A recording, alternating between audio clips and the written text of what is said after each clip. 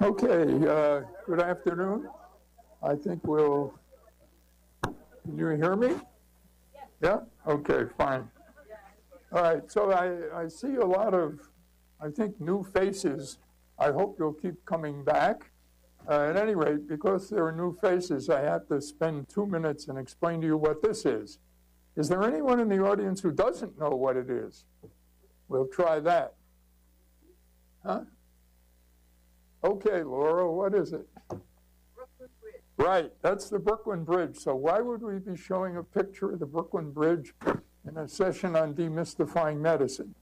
And it's simple, because the whole purpose of this course, and in fact of research in general, is to bridge the gap between Brooklyn and Manhattan, but as represented by, call it basic science, whatever you will, and call it human health on the other side.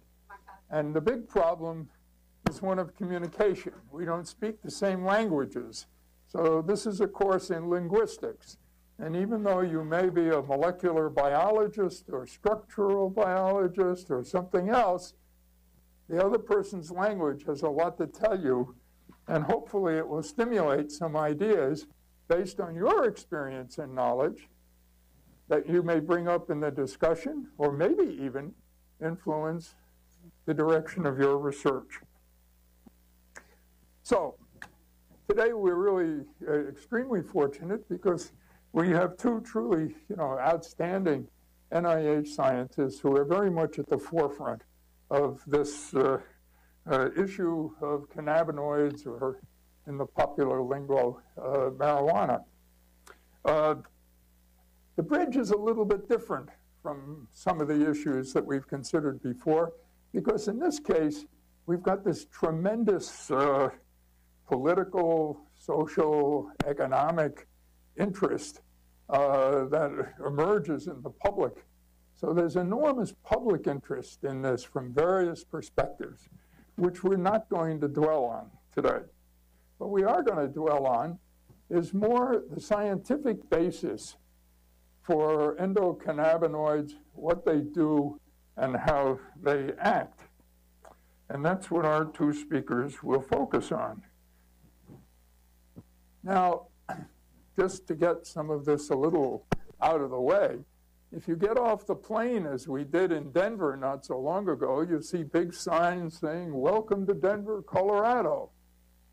And all the green dots are places that have one crazy sign after another where you can buy marijuana in whatever forms you wish, including ice cream, candy, all kinds of stuff. And this is serious business because it's legalized, of course. And whoops, what did I do? Oh no, help. Okay, yeah, I do this all by myself. I had it upside down. Okay, so from the sort of, I don't know, sociological, economic, political point of view, there are lots of ups and a lot of downs, and if you just read the newspaper and listen to various people talk, sometimes you get the idea that with these events listed here, that the, the ups in favor of legalization and so forth uh, are having uh, the lion's share of the action. You know there's increased legal recreational use in several states. The economics are really incredible to read about. The prices in one week in Washington state plunged by 40% when there was competition. I read in the paper the other day that banks are a huge problem because they're not allowed. They're federally mandated, Federal Reserve. They can't handle money that comes from, quote, drug use. So these guys are running around with $100,000 suitcases and they don't know quite what to do with them. So they have to have guards, and it's really uh, the Wild West all over again. Uh, Native Americans, it turns out, can legally grow, sell, and profit from marijuana on reservations. So I don't know, maybe we're going to have a new form of casino operation, which may be good, I hope, for the Native Americans who certainly need all the help they can get. And marijuana tourism is big time. if you want to really get shaken, just Google marijuana tours, and it includes everything. well, this raises important questions, of course. How safe is all this? What are the risks of marijuana? And that's one of the topics that's going to be discussed today, both from a neuroscience perspective uh, and from a metabolic effect. Now, the science is really incredible to read about, and I hope that all of you will look at the references that were posted uh, on the website because they give the history of all this and some of the interesting questions, you know. The first uh, discovery of an actual endogenous uh, receptor. The receptor came before the ligand did. Uh, Mishulin's discovery in 1992 uh, of the first receptor, I believe. So now there's a question how many receptors are there for cannabinoids as structures? Well, the one we're emphasizing, at least in the first slide, comes from a plant. But why are there receptors in mammalian tissues for something that's in a plant? Well, it turns out there are endogenous uh, ligands, and the first was identified by Mishulin, and he gave it the somewhat romantic name, an, ant- an, an which comes from the Sanskrit word ananda, which means bliss, rather poetic. Well, it's an arachidonic acid derivative, and so now there are a whole bunch of others. So, what are the receptors? How do they work? Why are they there? What are the endogenous uh, uh, ligands? And if there are receptors, are there antagonists? And will the antagonists block selectively different tissues? Are they therapeutically useful for anything? And most importantly, is how does all this work? I mean, what's the underlying physiology in the nervous system, in the rest of the tissues? Uh, is it innocuous? Uh, and all these various claims that are made. I think that's my last slide. Yeah. Uh, so these are the things that are going to be uh, discussed. Now, I'll briefly introduce people whom I'm sure you hopefully all know or know of. Uh, so the first speaker is going to be George Kounos, who's scientific director of the National Institute of Alcohol Abuse and Alcoholism. Uh, George is originally from Hungary, took his medical degree in Semmelweis University and a PhD in pharmacology at McGill, uh, where he was a professor, came to the NIH as the chief of the Laboratory of Physiological and Pharmacological Studies in NIAAA, and in, since 2000 has been the scientific director. Uh, George has received all kinds of medals and honors and recognition for his remarkable work on the basic biochemistry, pharmacology, physiology, and disease related aspects uh, of cannabinoids. And our, our second speaker, uh, Nora Volkow, is I'm sure well known to you. Uh, Nora was born and graduated from medical school. Those two things didn't come at the same time, uh, but they could have because her record is so stellar that anything could happen at a fast pace. She graduated from the National University of Mexico, where she received award as the best medical student of her generation. That's really something. And then she trained in psychiatry at New York University and was one of the outstanding psychiatric residents in the United States. She then spent most of her career at uh, the Department of uh, Energy's laboratory at Brookhaven, uh, Long Island, where she was director of nuclear medicine and really did her salient work demonstrating that drug addiction was really a disease of the brain. This was largely by imaging technology and this ultimately uh, led to her coming here as director of NIDA in 2003. And since then, all curves have been up I suspect, I know this in my own family, when they hear we're here at the NIH and they say, Oh, do you know Nora Volkow? It's not that she's a rock star or anything like that, although she may be, but I don't. No, it's just that her impact on the public, the at all levels, has been so profound in influencing understanding and policy, as well as science. And as head of NIDA, remarkable things have happened since she's been at the helm. Now, she may not like this, but I have to add this because I always thought that my wife was one of the 100 most powerful women in the United States. But it turns out, at least according to Time magazine in 2009 and 2011, Luba, I'm sorry, you weren't, but Nora, you were. She has been recognized widely as a member of the Institute of Medicine and has received all kinds of awards, uh, one of which was amongst the top people who will shape our world from Time magazine.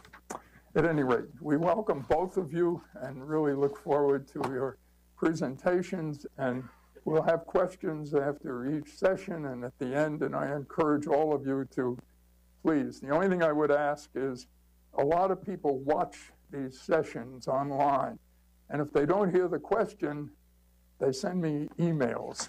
So if you wait a minute, we'll get a microphone to you and you'll have an opportunity to be heard around the world. George? okay.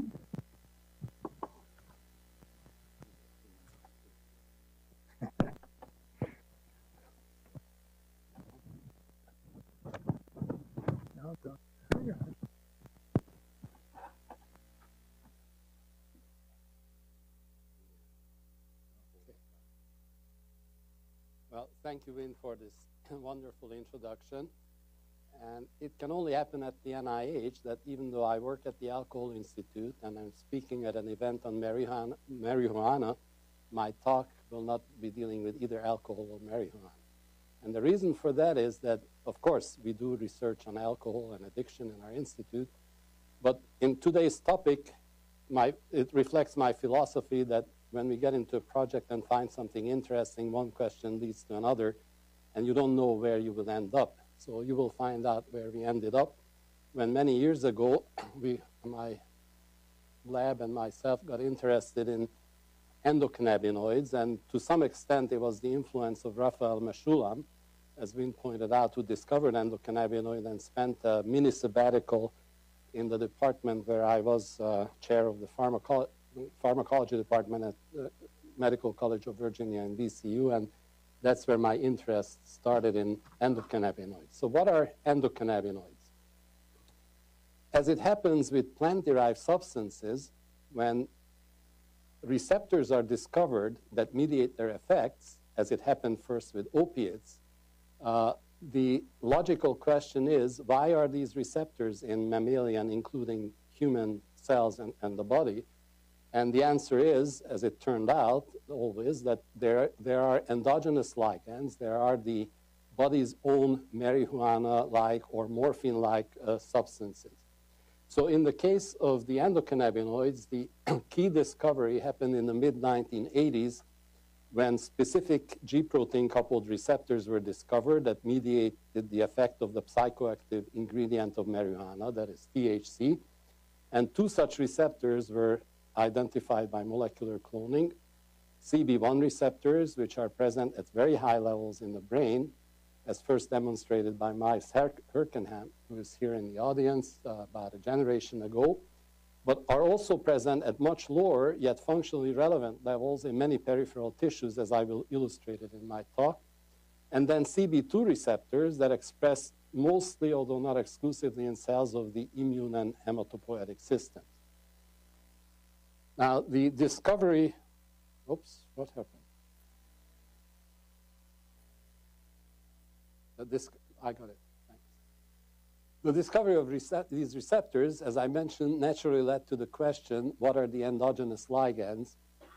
And Mechoulam had the ingenious insight that instead of going after peptide, by analogy of the then recently discovered endogenous opioid peptides, he suspected lipid-like substances based on the fact that THC is a highly lipophilic substance. And he was able uh, to identify uh, sorry, an arachidonic acid metabolite, arachidonyl ethanolamide, which bound to the cannabinoid receptor and produced effects similar to marijuana in many different tissues. And three years later, again, his group and independently Sugiura in Japan identified a second arachidonic acid metabolite, 2-arachidonyl glycerol or 2-AG. Now, there are some analogs of these compounds which also act like endocannabinoids, but these are the two most widely studied uh, endocannabinoids which have been around for about 20 years. And during this 20 years, there has been an extremely strong interest and intensive research. Uh, just last year, there were over 5,000 papers in the PubMed database that deal with endocannabinoids and cannabinoid effects. And a large number of biological functions mediated both centrally in the central nervous system, but also in increasing numbers, peripheral mechanisms that are regulated or modulated by these endocannabinoids. Now, for today's talk, I highlighted a few effects in red, and when you look at these, like marijuana or its endogenous counterparts, help us relax, eat and drink more, rest, sleep, save and conserve energy. These are the hallmark of what we call the thrifty phenotype. This phenotype had a significant survival value during human evolution during frequent period of starvation. But in the last 80 years, when we have adequate food supply and an increasingly sedentary lifestyle, it has become the main culprit of what we call the metabolic syndrome, or in other words, visceral obesity and its metabolic complications, which include insulin resistance, diabetes, fatty liver, and dyslipidemias that can lead to heart disease. Now, we could speculate or, or maybe formulate two hypotheses based on, on, on what I show here. These effects, if, if all of these effects are promoted by endocannabinoids, and it happens that they are all mediated by CB1 receptors, one can speculate that a unifying pathogenic feature of the metabolic syndrome is increased activity of the endocannabinoid CB1 receptor system. And something which was more practical and, of course, of more direct interest to the pharmaceutical industry, that if this is so, then blocking these receptor by CB1 receptor antagonists may have therapeutic value in visceral obesity and, and its metabolic complications. And in fact, the stimulus that led to the development of these compounds was the observation that the first uh, CB1 antagonist, which was introduced by the Sanofi company in France, rimonabant, uh, was able to reduce food intake, and this led to the idea that it may uh, be effective in treating obesity. And this was, of course, this effect on food intake reflected the fact that the endogenous uh, compounds, similar to marijuana, which causes the munchies, the endocannabinoids, act as appetite promoting substances. They are part of the hypothalamic neural network that controls appetite, as first demonstrated in our lab about 14 years ago. And when rimonabant got to uh, clinical trials and testing, it turned out not only that it met the expectation and it was effective as a weight reducing agent, but first among anti-obesity drug, it was able to improve practically all of the important complications of obesity, that is, improved insulin sensitivity, uh, dyslipidemias, and it re reduced fatty liver. Unfortunately, and not unexpectedly, I have to say, it also had very important CNS side effects. For that, you have to know that the endocannabinoid CB1 receptor system is, part of the mesolimbic brain reward pathway, an obligatory component. So if you block that, you have a reward deficit and anhedonia, and the manifestations of that was in a significant, small but significant number of people who took it, they developed depression, anxiety, and some even suicidal ideation. And in a very risk-aversive uh, drug re regulatory environment that led to the withdrawal of rimonabant from the pharmaceutical market in 50 different countries. The US was more cautious, was never introduced here. And moreover, it halted further research in this uh, therapeutic, uh, in the th research in the therapeutic application of CB1 blockade. Interestingly, at about the same time, a number of laboratories, including our own, have demonstrated that CB1 receptors in various peripheral tissues, all of which are important in metabolic regulation, mediate important effect in adipose tissue. They increase uh, lipogenesis, decrease fat oxidation that uh, results in increased adiposity, obesity. In the liver, they increase glucose production. They induce insulin resistance. They also increase hepatic lipogenesis, that is the ectopic uh, generation and that deposition of uh, fat. They cause endoplasmic reticulum stress in the muscle. They inhibit glucose uptake, which leads to peripheral insulin resistance, and so on. Now, this led us and a few small biotech companies to the idea that maybe the CB1 antagonism, the therapeutic potential of this class of drug could be salvaged if we develop second generation compounds that have greatly reduced ability to penetrate the blood-brain barrier. And this way, we could minimize or even eliminate the neuropsychiatric liability side effect, but retain some or even most of the therapeutic benefit. And furthermore, uh, uh what also led to, to this, uh, this idea that we, as well as others, found that in these metabolic disorders, uh, there is a significant increase or activation of the endocannabinoid system, which was reflected in a major upregulation, increased expression of CB1 receptors in adipose tissue, in liver, and in uh, skeletal muscle. Here you see the animals which were fed a normal diet or became obese. Uh, mice fed a high-fat diet have a greatly increased amount of CB1 receptors in the liver, which is normally very low. Same in adipose tissue, obese versus non-obese, and in a mouse, lean versus obese mice. And the amount of the endocannabinoids were also increased, which is not shown here. So at this time, we were approached by a small pharmaceutical company that uh, also recognized this possibility and developed uh, a modif modified CB1 antagonist with reduced brain penetrance and asked if we could collaborate because they knew our interest in, in this, this problem. So the compound that I, will talk about uh, in the rest of my talk is this JD, I will just refer to it as a JD compound, is a structurally modified derivative of the brain penetrant CB1 antagonist ibipinabant, which was developed by the Solvay company it never got to clinical testing because by the time it was ready, rimonabant was withdrawn, so all further research with all the other rimonabant-like substances stopped. Now, this compound, as I mentioned, the modification resulted in a much reduced brain, brain penetrance, as I will illustrate in the other slides. Um, luckily, however, it didn't affect, actually didn't reduce, but strangely even increased the affinity of the compound to the CB1 receptor, about a tenfold increase from about 8 to or 20-fold increase in potency and retained the same selectivity to CB1, much less effective on CB2 receptors.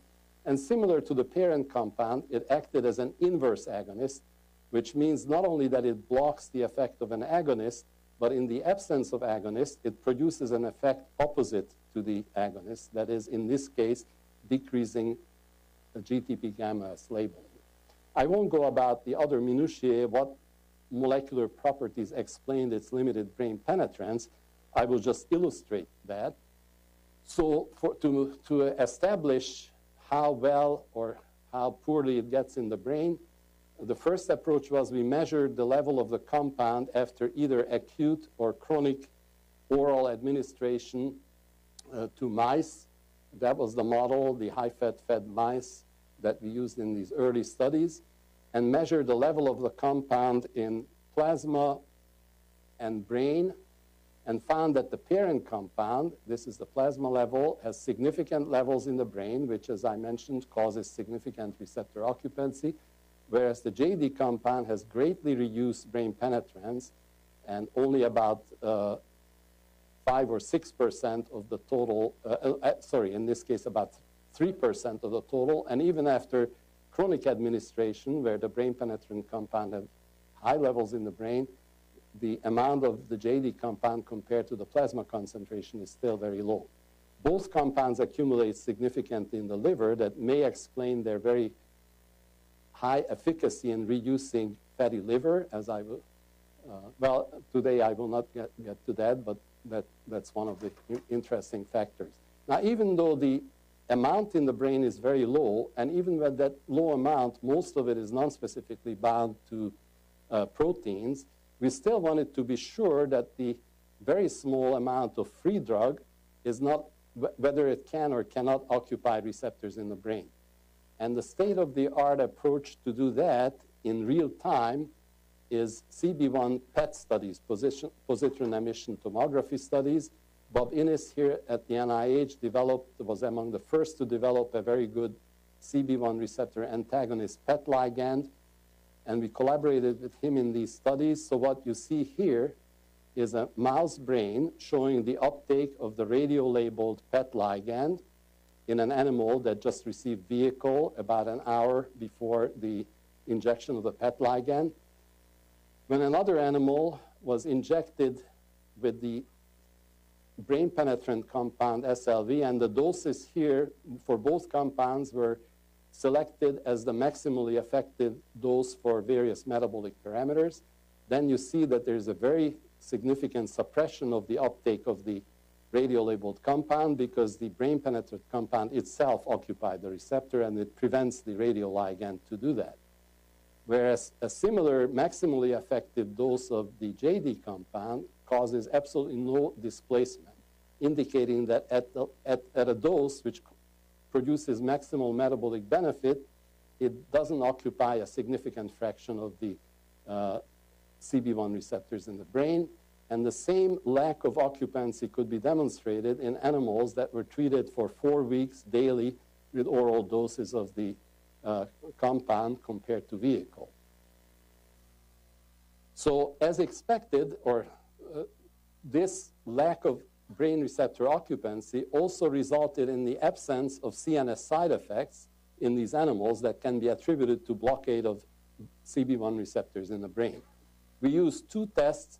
One is that an, if an animal, a mouse, is injected with a highly potent CB1 agonist compound, marijuana-like compound, it develops catalepsy, which is measured in the mouse in a simple assay, a horizontal bar. One puts the mouse with this, its two hand uh, two front paws on, on the bar, and a normal mouse doesn't like to be hung up like that, immediately releases the bar and runs away. So the amount of time that the mouse spends on the bar is indicated here. If the mice, mouse is pretreated with this potent agonist, it hangs on for over 10 seconds before he's able to release and let go. If he's pretreated with the non-brain penetrant CB1 antagonist, the agonist is still able to, use, to cause almost the same degree of catalepsy as in the control animal. However, if it's pretreated with the same dose of the brain penetrant compound, the ability of the agonist is completely blocked. It's, the effect is similar to what happens if the animal gets just vehicle. Another uh, test which is widely used in the pharmaceutical industry, it's a relatively simple test, drug-naive mice, which are in, injected with a CB1 penetr brain penetrant antagonist, become very difficult to handle and run around for hours in the cage, which could be actually quantified by the interruption of infrared beams. And you see here the brain penetrant compound, a single injection in this case causes a huge increase in motor activity that is, is still significantly higher than uh, background after two hours, whereas there is no significant effect with a similar dose of the JD compound.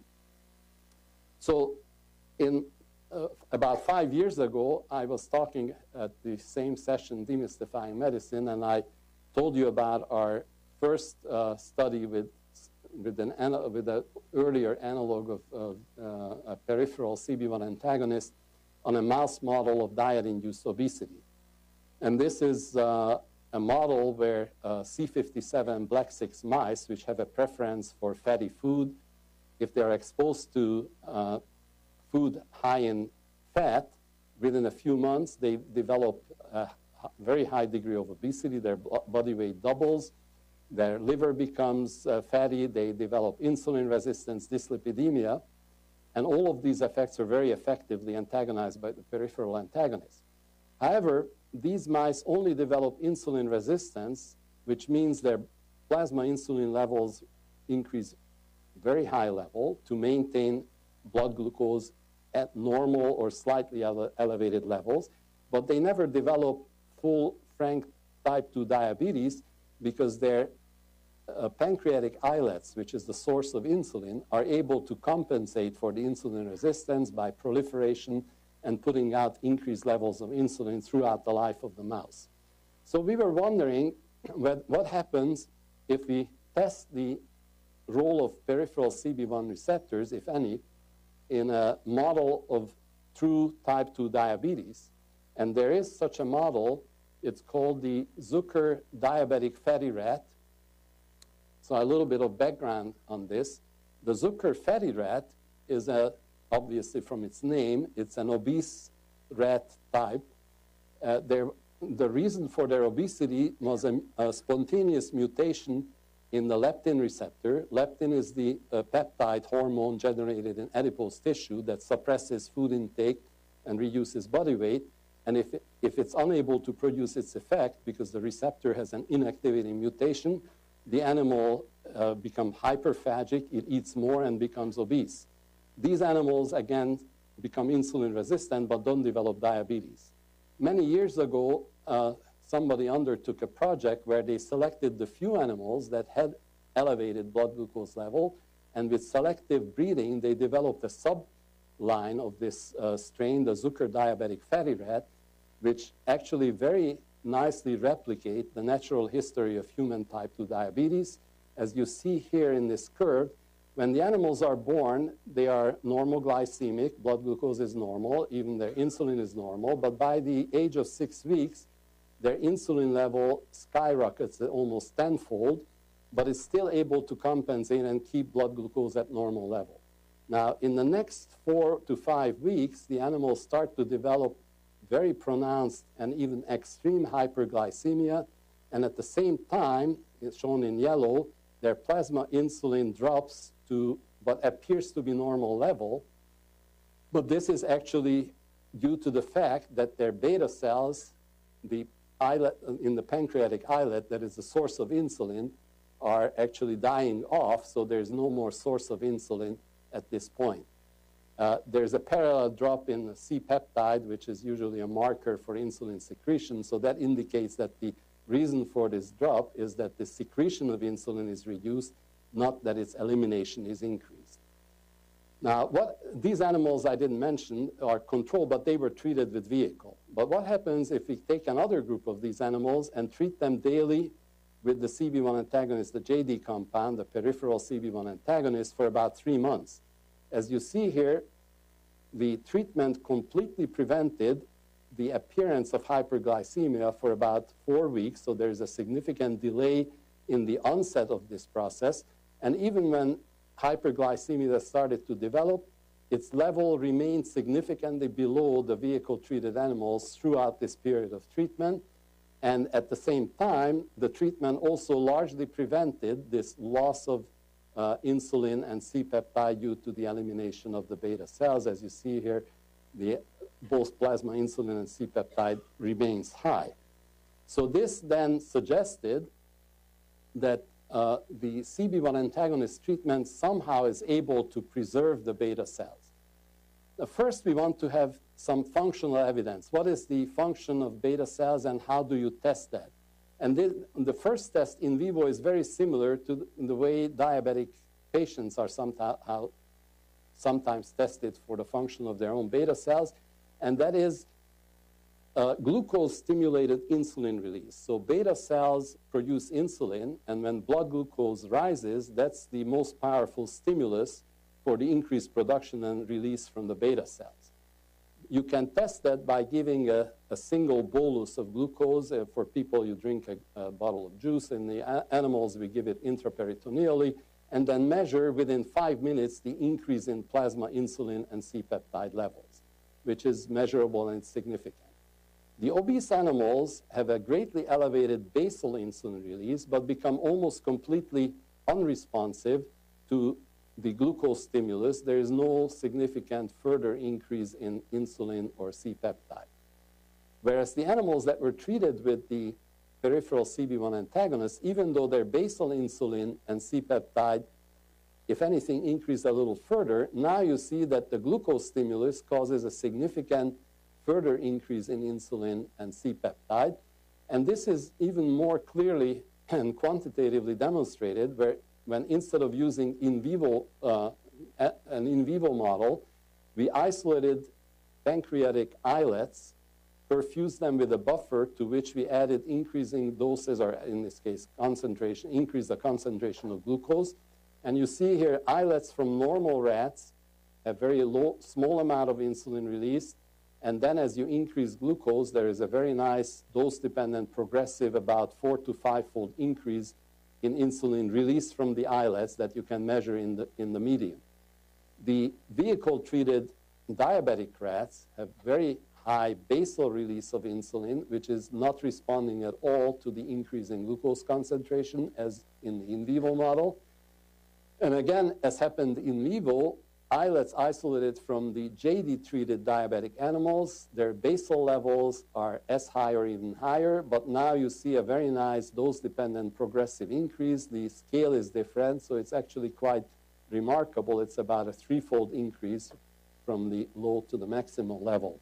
So that means that the loss of beta uh, islet cell function is preserved by uh, treatment with the JD compound.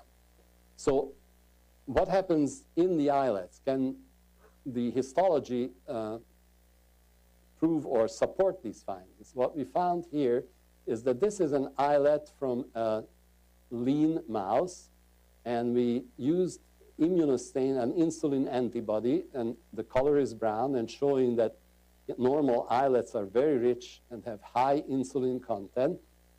The diabetic islets is enlarged, somewhat disorganized, and the insulin content is dramatically reduced. Uh, similarly, uh, insulin mRNA is also showing this very uh, dramatic reduction. And in the treated animal, the enlarged uh, islet size remains, but there is a marked increase in both insulin content and insulin message level. At the same time, we also notice that there's a large number of apoptotic cells in the diabetic islets by tunnel staining, which are not present in the lean animal, but also absent in the JD-treated animal. At the same time, CB1 receptor expression in the islet, which is low in the lean animal, becomes significantly increased in the diabetic animal, and that's also reversed by the antagonist treatment. Now, one of the other things we noticed that the large cell infiltration that we observed in the vehicle-treated diabetic animals turned out to be uh, pro-inflammatory macrophages. When we stained with an antibody against the macrophage marker CD68 molecule, we see a significant increase in CD68 positive macrophages, and this increase is reversed uh, to a large extent by the peripheral antagonist treatment. At the same time, the NLRP inflammasome, and I will describe what it is, is also causes a, a parallel increase, and that too is reversed uh, by the antagonist treatment.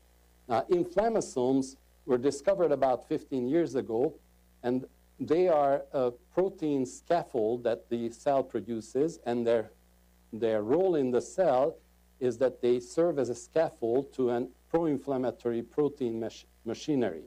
The NLRP inflammasome, there are about 12 or 13 different inflammasomes. This particular inflammasome is known to be responsive to metabolic danger signals, and the inflammatory machinery that it assembles involves uh, NF-kappa B, uh, the protease enzyme caspase 1, which, whose main role is it converts uh, inactive or pre IL-1 beta and IL-18. These are pro-inflammatory cytokines. They, it converts them from an inactive uh, precursor to the active uh, uh, cytokine. Next slide just shows that these macrophages, not only that they produce the inflammasome, but as might be expected, they represent the pro-inflammatory M1 as opposed to the M2 phenotype. M1, M1 markers are increased, M2 markers are decreased in the diabetic uh, islets compared to normal, and the changes are reversed in the islets from the JDT-treated diabetic animals. And this just shows that not only the inflammasome is increased, but as one might expect, the protein machinery that is assembled on the inflammasome is also increased. NF-kappa B goes up, caspase-1 activity, here we measure the activity enzyme, it goes up, and the amount of actual active IL-1 beta and IL-1 beta and IL-18 proteins are also increased, and all of these changes are normalized or nearly normalized by the antagonist treatment. So at this point, we considered that one of the possibilities that the targets of the CB1 antagonist treatment may be on the um, islet, uh, insulin-producing islet cells themselves. However, I will show you a number of several lines of evidence to suggest that instead of this, the unexpected conclusion from our experiment was that the target of the CB1 antagonist and its beneficial effect is, is CB1 receptors on these pro-inflammatory macrophages. And the mechanism that the results, and I, I say it in the beginning, and you will see the evidence that supports it, that endocannabinoids acting on these CB1 receptors promote their transmigration into the tissue, in this case, into the pancreatic islets, and also promotes the uh, increased expression of the inflammasome, increased IL-1 beta and IL-18 production, and these cytotoxic cytokines are then released from the beta, uh, from the macrophages and act on the neighboring beta cells to kill uh, the cells by apoptosis and this way induce diabetes through the lack of insulin. So the first evidence is, oops, oh,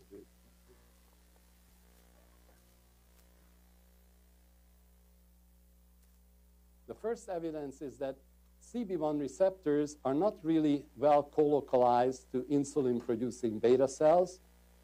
As you see here, the beta cells are visualized by an insulin antibody, the CB1 antibody shown red, it's mostly localized on the perimeter, of the islets, and when you overlay them, and the colocalization is very minimal, it's, it's less than 15%. On the other hand, the CB1 receptors show a nearly perfect colocalization with CD68 positive macrophages in the islet. Here it shows the overlay. And there's also colocalization of the inflammasome with the pro-inflammatory macrophages and one, as one might expect it, shown here. The second line of evidence came from a tool we used, uh, which is a compound called clodronate. Clodronate is taken up by phagocytic macrophages and causes their apoptosis. So the way we did, and, and this way it can actually lead to a depletion of macrophages. Clodronate is packaged into liposomes, and uh, diabetic, my, diabetic rats are treated with these liposomes, which could contain either clodronate or just empty liposomes. If you treat the rats with empty liposome, they show the, the uh, typical gradual increase in blood glucose level during that early life period. In the clodronate-containing liposomes, the treat,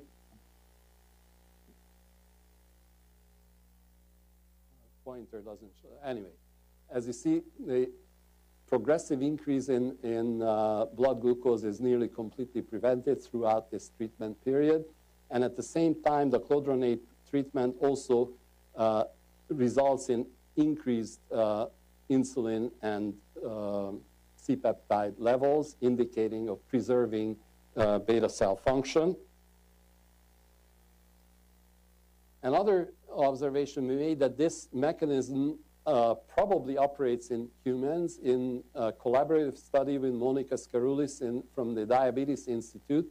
We collected um, blood-derived monocytes from 28 normal volunteers, uh, uh, isolated them, placed them in culture, and induced their differentiation into macrophages. And when you expose the cells to the uh, endocannabinoid anandamide in vitro, it causes a marked increase in the cellular contain, uh, content of the inflammasome, its associated protein, and also in the level of CB1 receptors in these cells, and also causes a significant increase in immunoreactive IL-1 beta and IL-18. And all these effects could be blocked by the simultaneous presence of the CB1 antagonist JD, which is the last two columns, the antagonist alone and the antagonist plus anandamide together. However, the strongest evidence we think that we could present is the effect of selective knockdown of CB1 receptors only in these phagocytic macrophages. So the approach we took was a uh, very innovative approach that uh, my colleague Michael Check introduced several years ago in an interesting Nature paper. And the approach is that if you develop small interfering RNAs against the CB1 receptors and packages these in uh, glucan, uh, beta D glucan particles. Beta D glucan is the ligand for the dectin receptor, and the dectin receptor is uniquely expressed on the surface of phagocytic macrophages.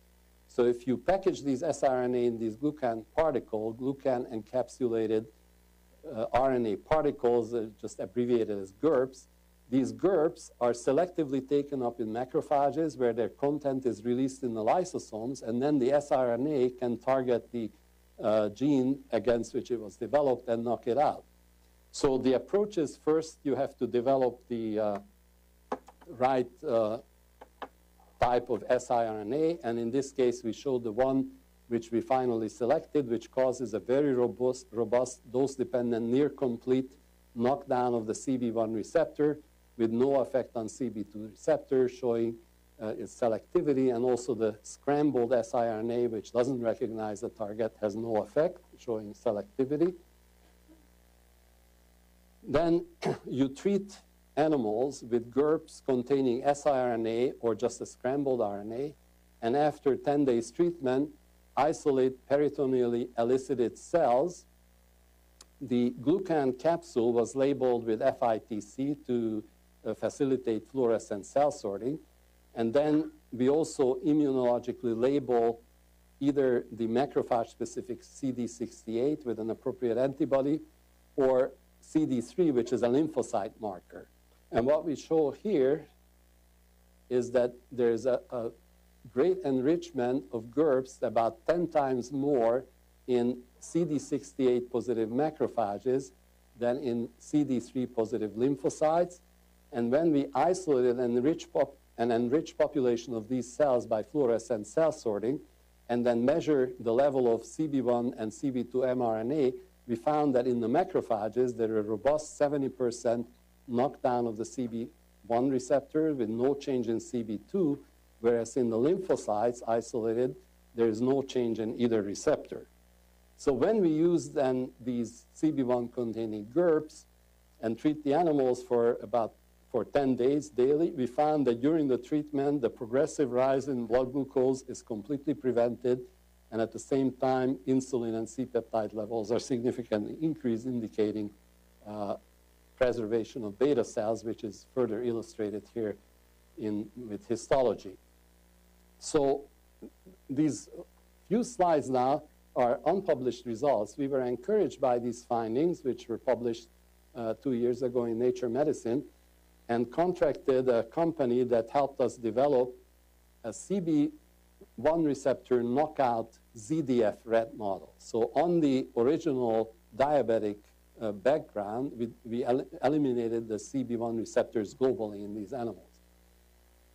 As you see here, you, can, you have to genotype these animals because they are uh, generated by heterozygote breeding, both for the leptin receptor mutation and the animals which are illustrated here were all knockouts or all positive for this mutation, so they were ZD1, ZDF positive animals.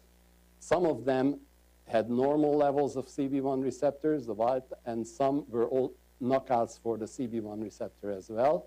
And the functional assay confirmed that the CB1 receptor stimulated GTP gamma as binding, and the knockouts had no such effect. And what we found, I will just focus on this slide, quite dramatic. The ZDF animals, which were wild type, for, which had normal levels of CB1 receptors, as many times observed before, gradually developed very pronounced extreme hyperglycemia.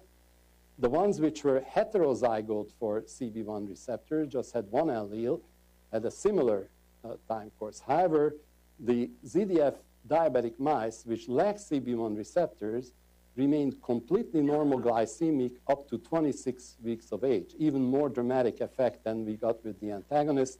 And this was also paralleled by the preservation of insulin and proinsulin levels. And the next slide just shows that in the lean animals, high insulin containing islets, in these old uh, ZDF wild type animals, there's a nearly complete destruction or atrophy of the islet with very strongly reduced insulin content. The knockout had, doesn't have this atrophy. It has an enlarged islet, but the insulin content is uh, close to normal. And when we stain for infiltrating macrophages with the CD68, these atrophied islets show significant staining, nothing here or in the knockout animals. And the few islets which are larger are actually very highly populated with infiltrating macrophages. So this suggests that this model would be very interesting to further explore the role of CB1 receptors in uh, these animals. So in the last couple of minutes, if I may, I don't even know if I have time, maybe just five minutes, as in human diabetics, these animals also develop severe diabetic nephropathy, which means uh, kidney disease. And just a few words of diabetic nephropathy. It's primarily a disease affecting the glomeruli. It's the most common cause of end-stage renal disease in people. A major pathogenic factor is the injury of podocytes, which are specialized vascular cells that maintain the integrity of the glomerular filtration apparatus and also regulate glomerular filtration rate. And finally, that it's widely recognized that the renin-angiotensin and hyperglycemia are the two main drivers of diabetic glomerulopathy. So with that, we looked at these uh, diabetic animals and found, as I already showed before, they are hyperglycemic. And indicators of the glomerulopathy, they have significant albuminuria, greatly elevated uh, plasma creatinine, blood urea nitrogen, and very dramatically reduced glomerular filtration rate. All of these were normalized by CB1 receptor treatment.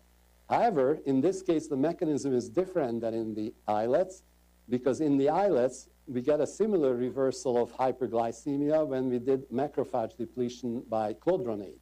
However, the macrophage depletion didn't do anything to the nephropathy, and this is further confirmed in this slide. There was no significant macrophage infiltration that you, we could find in the kidney, in the glomeruli of these animals, no change in the NLRP inflammasome, caspase-1 of IL-1 beta.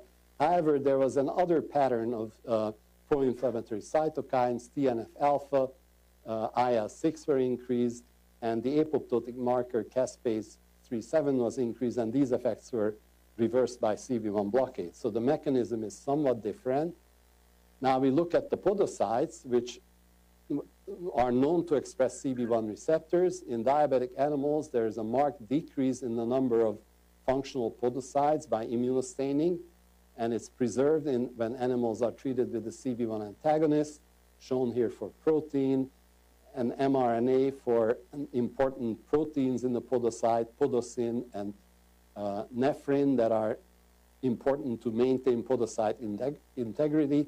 And at the same time, CB1 receptor expression in the glomeruli is increased. And as you see here, the CB1 receptor tends to be expressed in the podocin-containing podocytes. So that suggests a cause and effect relationship between these two.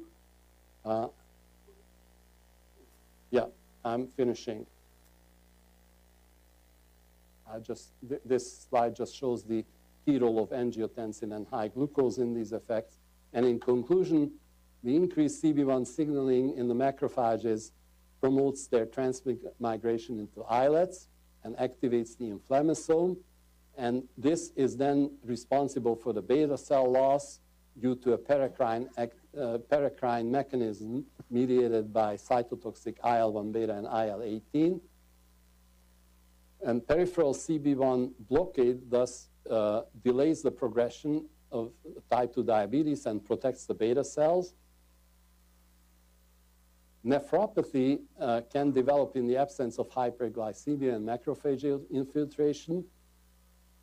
What I didn't have time to show is that both high glucose and angiotensin II induce podocyte damage, and the effect of both was inhibited by CB1 blockade, suggesting that CB1 receptors and endocannabinoids may represent a common pathway through which both high glucose and angiotensin II cause uh, renal damage in diabetic nephropathy. And the final conclusion that all this suggests that peripherally restricted CB1 antagonists do have therapeutic potential in type 2 diabetes and its complications. So with this, I will conclude and just give credit to the people in my lab who did the study. Thank you very much. Thank you very much. Very exciting work. We have time for a couple of questions, please. Try and be concise. Uh-huh. Yeah. What is the clinical status of the CB1R antagonist now? Is it still in the experimental studies or it is moving to clinical evaluation? Several years ago, I applied for a, a Bridges grant and was fortunate to get one on behalf and collaborating with this company. And these uh, IND enabling toxicology studies are in progress. So there are a lot of things you have to get through, but hopefully when it's, it's the end is to get an IND and do it in the clinic. And we already lined up collaborators who are interested in participating. George, I'm interested in the effect of endocannabinoids on osteogenesis. Mm-hmm. Is there any effect of the of the uh, JD antagonist on bone in those animals that you follow for a long period of time? The JD wasn't tested. The original studies by Itai Bob, who tragically passed away, an Israeli scientist, uh, established that CB1 receptors are present in both osteo blasts and osteoclasts and have a very, a very important role and actually may even participate, may have some pathogenic role in osteoporosis. My former postdoc, Yossi Tam, who is uh, there on the second from Israel, that was his PhD thesis work, and he's back at the Hebrew University and is probably continuing both our work and the uh, bone-related work. George, is there any evidence that an increase in either endo or exocannabinoids can accelerate these lesions? Well, endocannabinoids, as I was trying to show, are certainly seem to be responsible for the disease. The interesting thing is the relation with marijuana use. You might conclude that if that based on this, that marijuana use will lead to obesity, diabetes, and so on. And this is not the case even our own st collaborative study with Nora and Monica Skaroulis didn't find any significant effect on glycemic control in uh, heavy marijuana users. And the most likely explanation, which was first suggested by Gerald Reaven, who coined the term uh, metabolic syndrome, is that chronic heavy marijuana smoking leads to very rapid desensitization of the receptors. So it doesn't, ref- and interestingly, endocannabinoids do not desensitize CB1 receptors, as recently shown in a Nature Neuroscience okay. paper. Well, thank you very much, and we'll have time for more discussion after Dr. Balko. How much time? How much time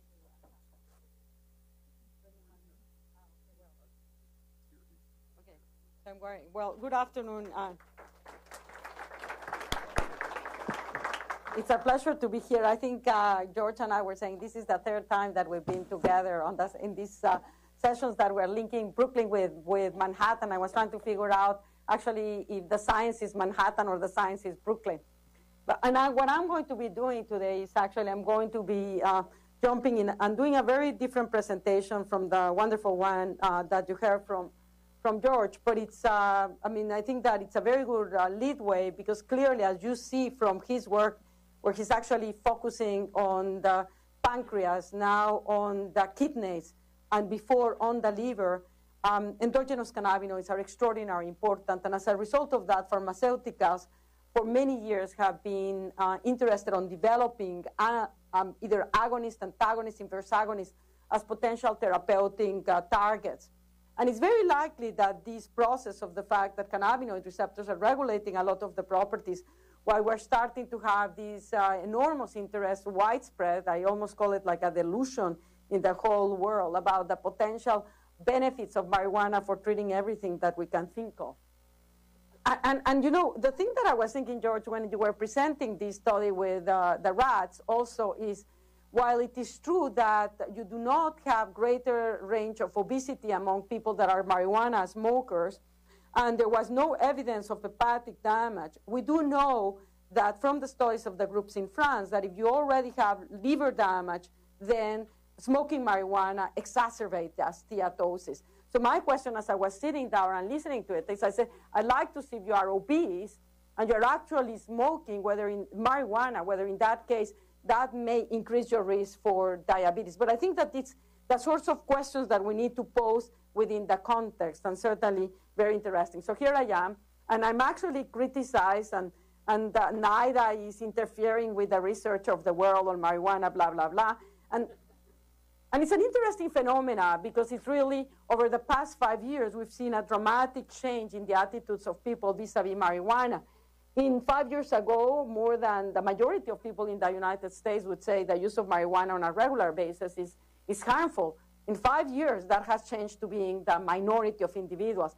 And during that five-year period, it's not that there has been a massive amount of information that has shown that marijuana is not harmful, not at all. There's really none. And I think it's, again, our, the need of our brain of polarizing things are they are either good or bad without recognizing that there is an intermediate state that needs to be taken into to evaluate the extent to which under certain conditions marijuana can be harmful and under other conditions it might not.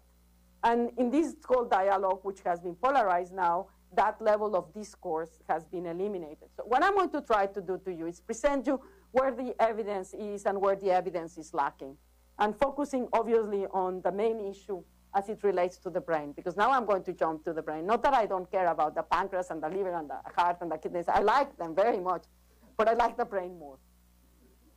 We all know that marijuana is the most frequently uh, drug, illicit drug use in the world, and in the United States, it's estimated that 114 million people have tried it at least once. And, um, and every year there are like 2.3 or 2.5 or 2.4 new initiates into marijuana taking. And the question is, uh, obviously it emerges, the notion is this harmful to you or not? Now, it is, again, when you're asking the question about where it's harmful or not, I want to actually, and most of my presentation, but not all of it, is going to be focused into the stage of adolescence and young adulthood, because that is the stage at which your brain is much more plastic. And as a result of uh, drugs, what they do is basically they trigger, they activate the molecular targets of neuroplasticity by which the brain actually strengthens the connections between uh, synaptics, by which synapses actually interact with one another. When you are young, those uh, neuroplastic changes occur much faster. Your brain actually is able to learn faster. But the, the negative side of that is if you get exposed to drugs, that transition into the strengthening of those synapses that link the drug with the reward are actually occurring faster, long lasting, and therefore you can become addicted uh, much more rapidly and for a more severe way if you start early in, in the adolescence, young adulthood. For all of the drugs, that's not unique for marijuana, all of them. The younger you are in initiating drug use, the worse the outcomes vis a vis addiction. Now, what is the, currently the status of marijuana among teenagers? Again, I'm emphasizing them because they are going to be the most vulnerable. And what you've seen is a result, what I'm showing you here is a result that comes from a survey that we found at the University of Michigan that actually samples every single year close to 46,000 kids at schools throughout the whole United States. And we asked them questions about what is, have they been exposed to different drugs, did they take them, and also about their perception of risk. What I'm showing you here is the prevalence of a percentage of 12 graders at 17 to 18 years of age reporting past month use of cigarettes, marijuana, and alcohol. And what we are seeing in terms of you are going to take the, take the grades of, of the United States in terms of adolescent drug taking, you can see that we're doing very, very well with respect to alcohol. Everything is relative. We still have very high rates of use of alcohol, but they are going, at least the trajectories are going into the, the in the right direction. And we're seeing less kids abusing alcohol, and we're also seeing less high school students binge drinking. Uh, we also incredibly good uh, progress that we've done in terms of cigarette smoking, where we've actually decreased cigarette smoking in the United States among teenagers by more than 50% over a period of 10 years.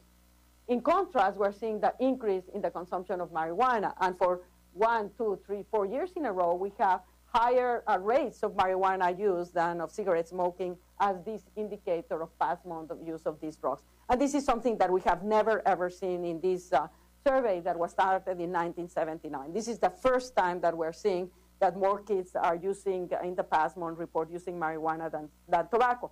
Of course, this reflects two phenomena, the one that is le leading by the increase, and the other one, the very significant programs that we're doing in cigarette smoking. So should we be concerned about it or not, about this pattern of increases in use of marijuana?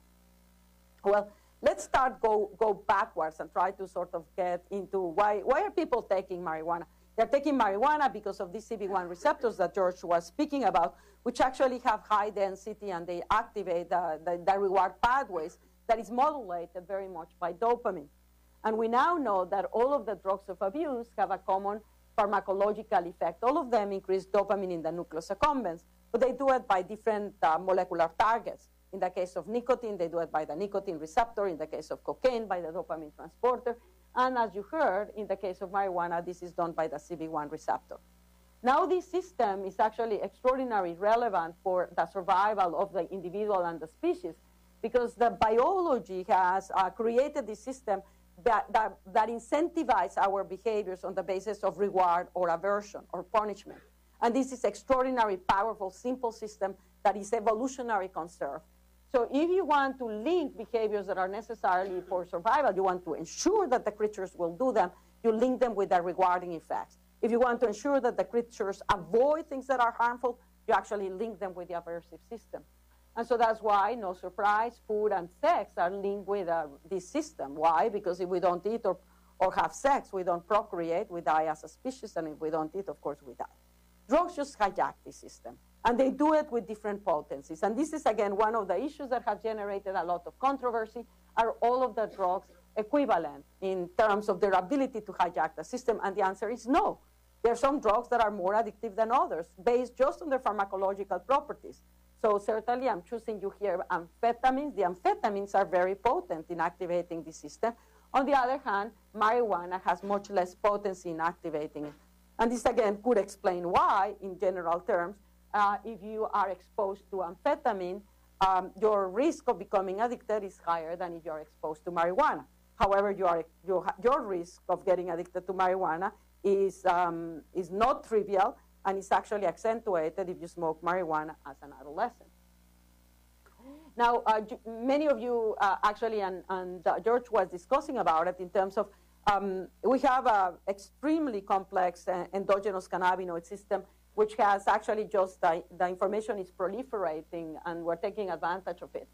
And, and marijuana is just targeting those, uh, those molecular systems that are affected by endogenous can cannabinoids, except that when you are taking marijuana, you're actually smoking um, these leaves that contain a wide variety of cannabinoids. And these cannabinoids have different properties. And these cannabinoids actually, uh, the one that people pay a lot of money for if you want to get high, is the 9-delta THC. That's the one that has these psychoactive uh, properties. But as we're discussing in terms of potential therapeutic benefits, for example, vis-a-vis -vis the ability of uh, some of these drugs to be potential treatments as anxiolytics or antipsychotics, then we're looking at this compound here, cannabidiol. Interestingly, and, and, I'm not going to go into the details of this one, but it just illustrates the complexity of what we're doing, is that while we've identified the CB1 and the CB2 receptors as being the targets, there is increasing evidence that there are other receptors that are directly affected by these cannabinoids. And this is actually made very evident by the fact that this, this cannabinoid, cannabidiol, has very low affinity for either the CB1 and the CB2 receptor, indicating that it's probably pharmacologically acting to another target that we may know or we may not. Um, but for, that, for the targets that we are very well studied, that, that George was speaking about, the CB1 receptor, particularly in the brain, they are very, very ubiquitous all over the place and at very high concentrations. Some of the areas are higher than others, and, and Mike Herkenham had this really incredible paper that opened our eyes about how widely distributed are, how the high concentration of these, these particular receptors. And, and, and if you look at his old paper on autoradiography, you see a very, very high concentration in the cerebellum and also a very high concentration into the hippocampus. And that immediately gave an explanation about why is it that one of the main symptoms that you do when you take an cannabinoid agonist is in rats you get catatonic or you have that. But in humans, it's actually you impair motor coordination. And, in, and the thing that happens with memory, the first thing that happens with memory, why it's not very good to take uh, marijuana when you're studying, is that impairs memory and learning. And while this may be an acute and may even have a chronic effect, an acute effect, if you are a student in terms of impairing your capacity to learn is not negligible. But here I'm just going to make a comment that makes the whole issue of marijuana fascinating and much more complex than we would like it to make it for the lay public.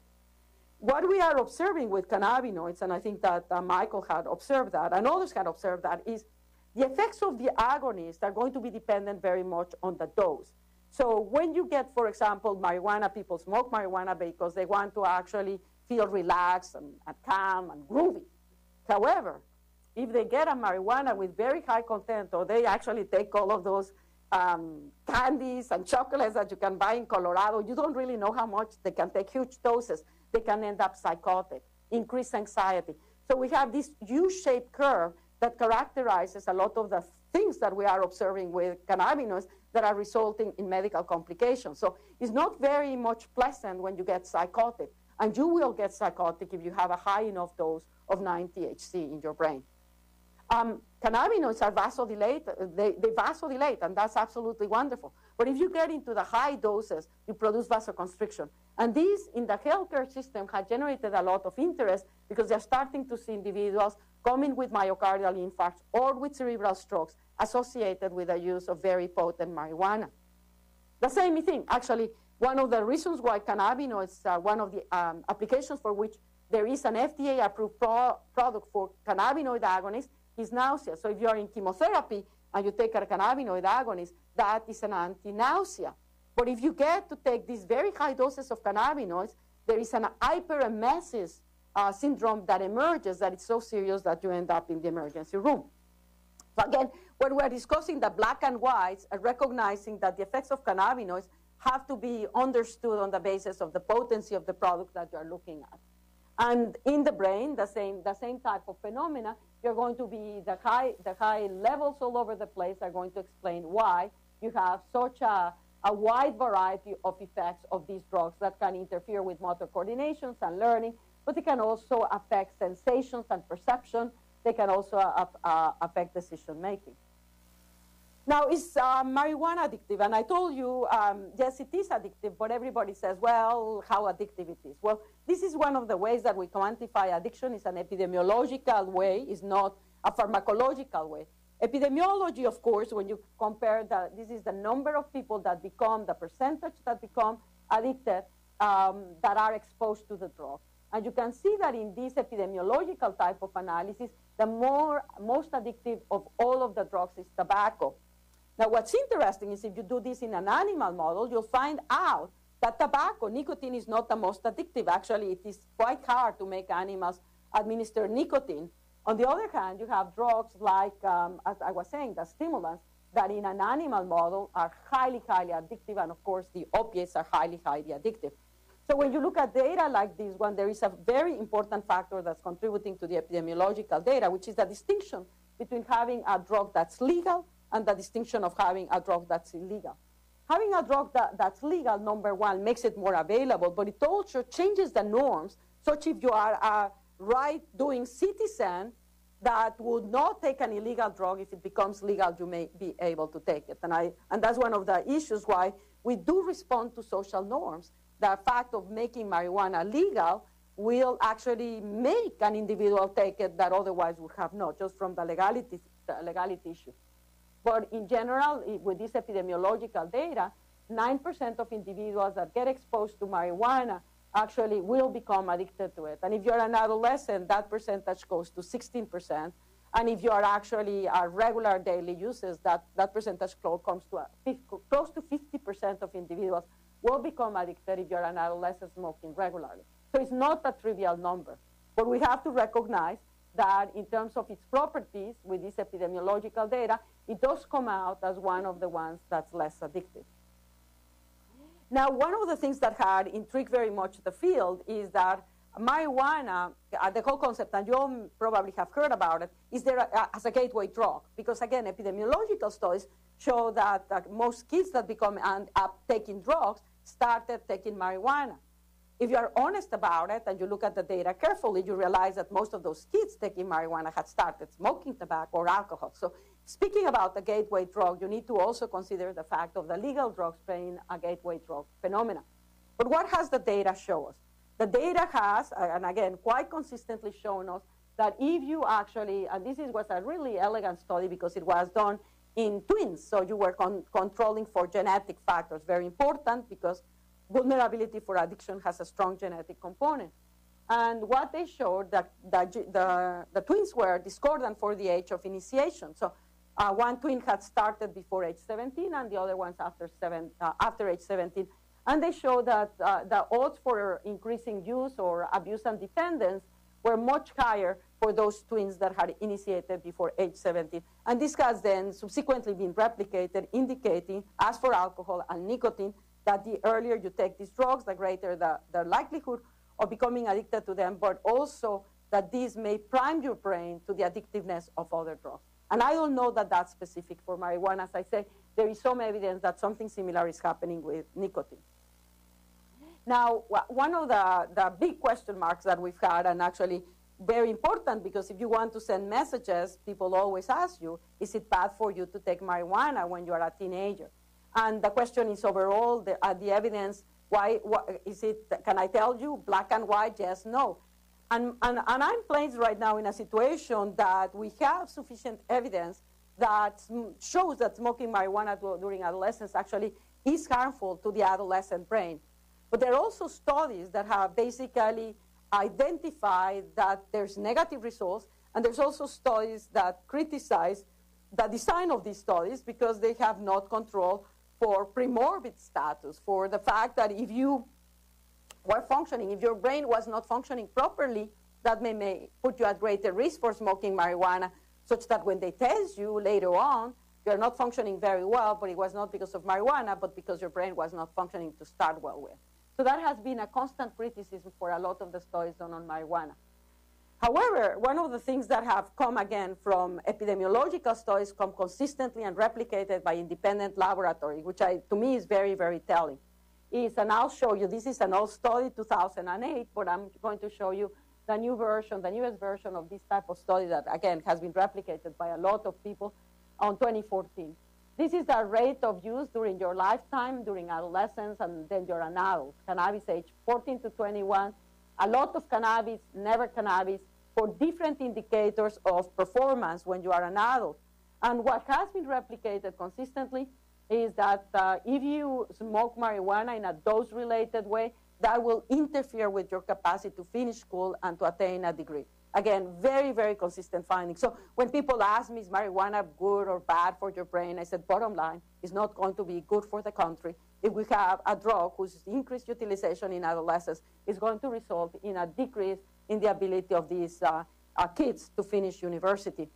And it goes all of the, this is of course then could be underlie why they have a larger percent of unemployed and dependent on welfare if you don't finish your education. And I'm not going into the complexities of whether it, it, it harm your brain or not. If you don't finish school, that's not going to help you very much. This is the actually the, the newer version, 2014, of a completely different group. It's actually a pretty large cohort of uh, individuals, New Zealand, Australia. And they were actually exactly the same thing. Dose, daily versus less than once a month. High school completion, dose effect, much lower. Uh, degree attainment, dose effect, much lower. There's no effect on depression, and there's an increase in the welfare dependence. But what's also interesting is that in this uh, side here, they actually document the same thing, what I was telling you, your adjusted odds rates, odds ratio, if you smoke daily, are much greater, no surprise there. Your increased use of other drugs, much greater, no surprise. What was a surprise, and actually I had never seen this in a study um, with such a large effect, was that they had seen an increase in suicide attempts. That was very significant. Just look at adjusted uh, ratio of uh, more than six for suicide if you're a regular user. I, I, I, like anything else, and since we're all very sensitive about the issue of replicability, in my perspective, this finding is one that we need to pay attention and uh, basically to try to determine if in fact it's reproducible or whether it's not. But if it, but we cannot ignore it. We need to start to pay attention of whether indeed the consumption of marijuana may increase uh, suicidality. And I, and again, as I say, this is not something for which there is uh, evidence from past investigation. This is another very important study in 2012 uh, published in PNAS. The, again, it's a study, this study followed kids prospectively, 1,037 kids uh, from age 13. They measured their IQ, and then they followed their drug use during adolescence, and then when they are adults, 30 years of age, they test them for their IQ. So this study was very important because it was not the first one that controlled for pre-morbid IQ before you started to take marijuana, but it was the one with the largest sample size. And what they showed is that if in those kids that smoke consistently during adolescence marijuana, uh, controlling for their IQ, there was on average an 8-point IQ loss associated with the use of marijuana. That persisted even when they had stopped using marijuana in adulthood. On the other hand, when you took people that basically had not smoked much marijuana during adolescence and were smoking it in adulthood, that was not associated with a decrease in um, intelligence quotient, indicating that there's something, again, as one would expect, uh, related to the vulnerability of the adolescent brain. And again, these are studies that are, uh, the way that I view it, that are focusing us in terms of these are not trivial things that we can just ignore. This is another paper that was published very, very shortly after the paper on PNAS, but it uses brain imaging technology, specifically diffusion tensor imaging, that allows you to look at the structural connectivity of the brain. The brain is a network, and the way that it works is by actually creating interactions with different areas of the brain. And with this technology, we can actually measure the density of these connections. And what this investigator showed in a study, and again, for imaging studies, this is a relatively well, well uh, sized one, but um, when you are dealing in generalizability, you come to realize that, that we need to actually, again, I, why I come back, there are, there are things that we can no longer ignore. These were individuals where they were comparing, using diffusion uh, tensor imaging, um, the connectivity of the brain of those that have been exposed to uh, marijuana during adolescence versus those that have not been exposed during adolescence. And they showed, interestingly, that the connectivity patterns that were deranged, that differ between both of them, were very localized in the brain, which to me was, first of all, a big surprise. But, but what's also very, very much interesting was the location of where these uh, defects were observed. One of them was one of the main connections into the hippocampus, which made a lot of sense because the hippocampus has a very high density of CB1 receptors. But the other one was actually uh, the precuneus. And again, most people don't know what the precuneus is. I didn't have the, the slightest idea about what the precuneus was until something like 15 years ago when I started to encounter it. And now the precuneus is everywhere. The precuneus is one of the main nodes of the brain. So if you think of the brain as a network with multiple hubs, one of the, the hubs that has the highest levels of connectivity in the brain is the precuneus. And I like to put the example of an, of an, uh, an airport, networks of airports, right? So what are the hubs, the main hubs of networks of airports in the United States? And I think which, which, which, which? Chicago, maybe Dallas. Well, what happens if they are actually not connected? If you start to uh, block the flow of planes into them, you disrupt the rest of the United States. So think about it. That it's not very good to have your precuneus not connected. How much are the decreases in connectivity on the smokers? Is it a small effect? 80 to 90% lower connectivity. So it's a very large effect in these specific patterns um, that are likely in this one hand to actually interfere. The hippocampus involved with memory. But the hippocampus is also involved in the ability to regulate stress responses. So it is very likely that disruption of this connectivity is going to impair not just the memory, but emotional reactivity, and the disruption of this very important node of the brain, hub of the brain, one of the main hubs, is likely to have widespread effects on the way that the brain processes information. And in fact, by the way, this is the hub that first becomes abnormal in patients suffering from Alzheimer's disease. In this particular study, they show that the age of initiation, the younger you are, the worse, the, the, the, the more impaired this connectivity. So you bring these two and two together, and I said, could it be that by impairing the connectivity of the brain, the way that you form these connections, could it be that this is one of the mechanisms by which the repeated use of marijuana during adolescence could have lead to the impairment in cognitive function that persists even after you stop taking the drug? And again, these are questions that are, ready out there for to do the investigations to see if indeed this is the case or not.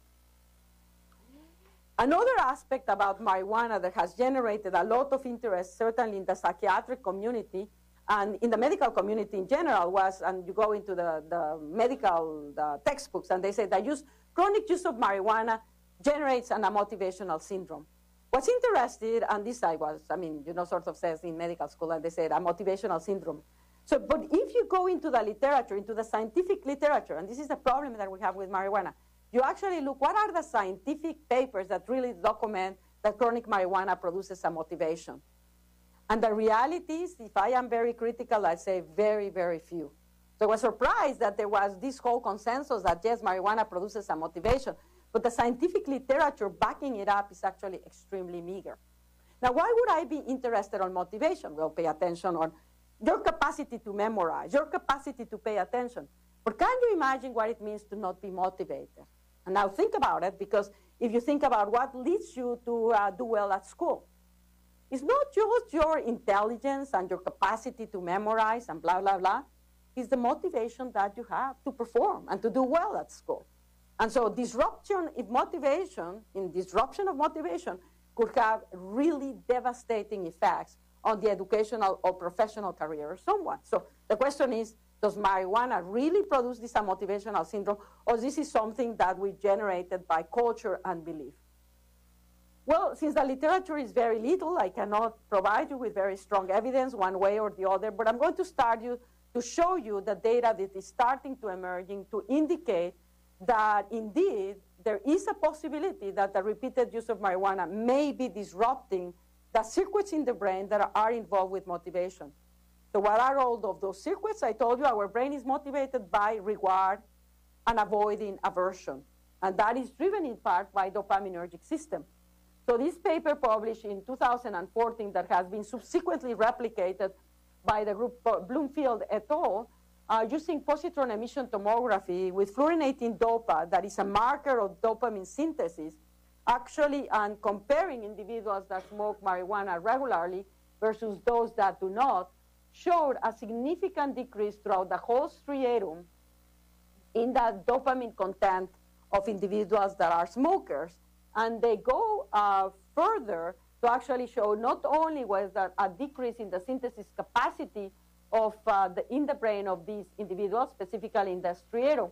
But there was also uh, that that decrease was associated in a rating for amotivation.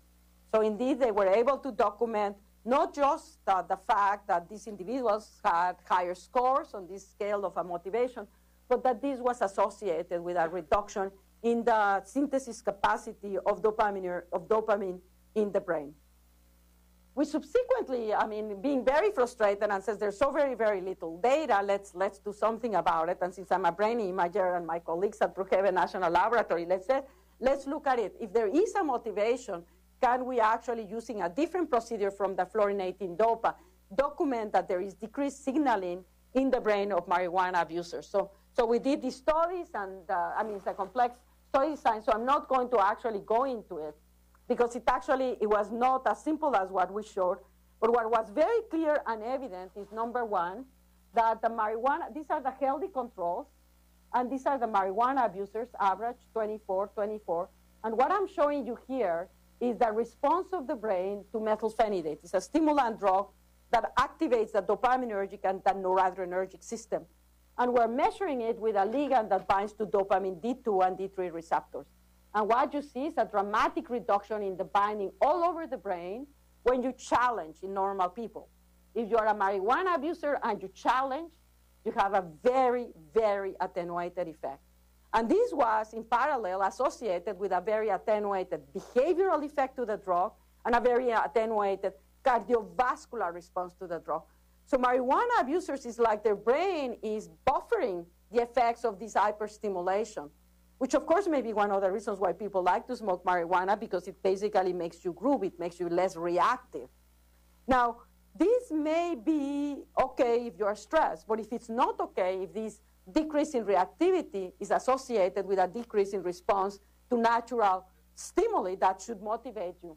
And what we showed indeed was that in when we when we use a different scale from, from the European group, one that monitors the negative emotionality, and what we show, which is a personality measure of irritability, dysphoria, we show to start with that marijuana abusers have much higher levels of negative emotionality. So overall, you may be smoking marijuana and feeling groovy, but uh, when you are not smoking marijuana, your scores on negative emotionality are much higher, and that is directly associated with uh, the decreased reactivity in the dopamine system, such that the higher your scores, the lower the reactivity.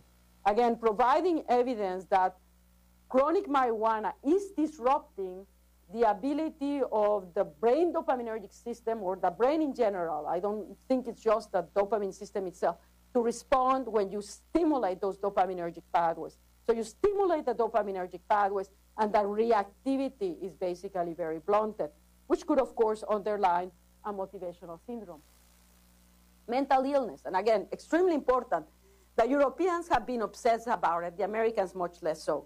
So the Europeans have been doing a lot of studies trying to determine is the use of marijuana, because if you, again, if you take a high dose of uh, THC, um, you can become psychotic. Any one of us can become psychotic with a high, high dose of 9 THC. But the question was, is that just limited or can you develop into schizophrenia? And again, many studies have come around and, and one of the things has been, in order to do that, can we even document that marijuana, chronic marijuana, um, we're showing shows uh, the dopamine system, but what, but what about the cannabinoid system? Because as George was mentioning for a lot of the peripheral organs, the endogenous cannabinoid system is also very important for modulating our anxiety responses. And if you block it, you're actually much more prone to having an adverse anxiety reaction.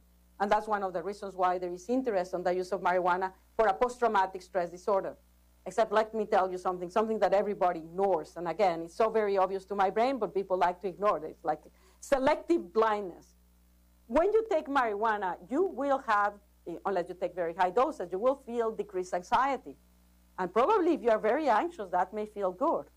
But like uh, George was saying, when you take these drugs, whether it's an opioid or you take marijuana, where you are targeting the same receptor that is targeted by the, your own endogenous system, you decrease the synthesis of that particular endogenous uh, ligand. So when you take opioids, uh, heroin, you actually release the production of your own endogenous opioids. And when you take actually marijuana, you reduce the production of your own endogenous cannabinoids. And this is a study that actually done by the group at Bob Innis, uh, in which he actually measuring again the same PET ligand that uh, George was um, um, speaking about that measures the CB1 receptor, showing that yes, in the marijuana abusers carrying black, actually you all have a decrease in the concentration of cannabinoid CB1 receptors in the brain. So the question is, if we think about marijuana being good for PTSD, the question is what happens when you are no longer intoxicated? When your CB1 receptors to start with are going to be decreased, and your own endogenous production is going to be also be decreased. And again, eh, and it is the, the issue of understanding the dynamics, not just in terms of, the, of those, but the effect that are acute and what uh, it may trigger in terms of neuroadaptations that may exacerbate the disease process itself. So coming to the psychotic effect, because I think that is, again, as I was saying, the Europeans have been obsessed by it. The first study was uh, that in large, actually, that alerted the attention of the field because there were small studies and clinical reports of patients coming in with schizophrenia when that trigger was triggered by smoking marijuana. But there, then when the studies became of large cohorts, uh, the first one in uh, 1987, the study of the Swedish conscript, that actually established the number of cases of uh, basically cannabis-associated psychosis, and as, as a function of the times taken, that alerted the field. It alerted it because they, first of all, they saw a dose effect, and it was a sample that could not just be ignored in terms of its ability to detect an effect size.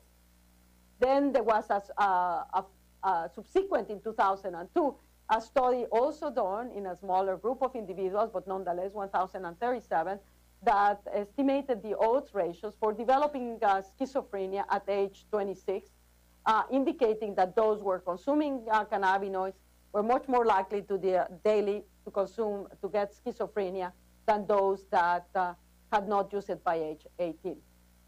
Those are the old studies. The new studies, what do they show? New study number one that was published in 2012 is a fascinating one because it actually identifies the whole concept of diseases that we're saying. You can get, you can smoke all your life and be 100 years old and you never get uh, lung cancer. Uh, so, so and, and, and it's not because uh, cigarette smoking is not increasing the risk of lung cancer. It's because there is an interaction between your genetic vulnerability and the drug you're consuming. And so what was fascinating about this study is that they were looking at a gene, the AKT1, which had been associated with the risk of schizophrenia. So this is one of the, the genes that uh, has been, by independent investigators, associated with conferring a risk for schizophrenia. And the high risk allele, which is the CC1, CC1 uh, is the one that you see here. You can, but what was interesting is that smoking marijuana, so they compare on the function as a function of your allele, whether you have the risk allele, the, uh, the, the one that you have both risk in both sides, the heterozygous, and the ones without the risk allele. If you smoke and you don't have the risk allele, nothing happens to you. If you smoke marijuana and you just have one of them, you're an heterozygous, nothing happens to you. But if you do have both of them, your risk of developing schizophrenia is sevenfold higher. Identifying one of the largest factors associated with developing schizophrenia. Consumption of regular marijuana when you have the risk allele basically just increases the likelihood that you'll end up with schizophrenia. And recently, two weeks ago, this paper made it up into the Lancet and generated a lot, a lot of attention because they actually look at uh, South London. Now, I don't know anything about South London, but I think that South London must have a very active uh, drug, drug uh, population because you can get very, very high content marijuana. And they were interested and very easily available and high prevalence rate. So they um, surveyed these individuals that, uh, in, from a hospital that they end up in the emergency room with diagnosis of schizophrenia. And they were actually then looking at the extent to which they have been exposed to marijuana. And what was interesting by them, again, is that those individuals that have been exposed to skunk, skunk is uh, kind of marijuana with very high content THC. I think I don't know exactly what it is. It's like 12, 16 percent, and actually, that's some of that is uh, it circulates in, in our country. Those that use it regular have a five-fold increase for risk of developing uh, chronic psychosis, indicating that this risk is not trivial. I, in this particular study, though, what, what was unclear to me is that I do not know that these numbers, how long they follow them to chronicity, because it is, and, and, and, I, and again, I know because I've actually worked with cannabinoids 9-THC, and we were giving high doses, and you actually can trigger a psychotic episode. So, but, but they are short-lasting. What this study does not really tell us is this skyfall what percentage of those are going to go into a chronic state, which of course is the, the one that will be a much greater risk for, uh, and the one that we should be most concerned about. So yes, uh, use of marijuana is not as benign as we would like to do. We like to compare it to nicotine. We like to compare it to alcohol. But they have very different effects, and we need to actually look at them.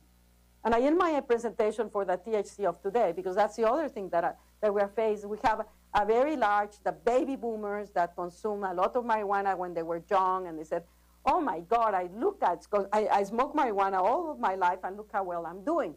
And so they, they basically, that then leads them to be much more uh, permissive with respect to the use of marijuana in their children. But look at the potency of THC. This was 1995, so I'm not looking at the ones when they were growing up in the 72 where it was 2%. But from 1995, it's 4%. We currently have it at 13%. 13% 9 THC. And look at the very dramatic increase from 2009 to 2012. We see a steep increase in the content of 9 THC. This, this marijuana with high content THC is going to be more addictive, and this marijuana is going to be associated with much more likelihood of side effect, harmful effect. And indeed, if you look, for example, at these data here that actually uh, plots the drug-related emergency department visits in the United States, you have marijuana. Look at the very significant increases that are basically a 50% increase since 2004 over a seven-year period, in a period where we are not seeing increases in emergency room, either from cocaine or heroin, even heroin, which actually is increasing in the United States. So this indicates that this very sharp increase is not, uh, cannot be explained just on the basis of these very sort of increases in the adult population because they are not so large. These very significant increases in emergency rooms, and as well as in treatment programs, are likely to reflect the fact that we have access to much more potent marijuana.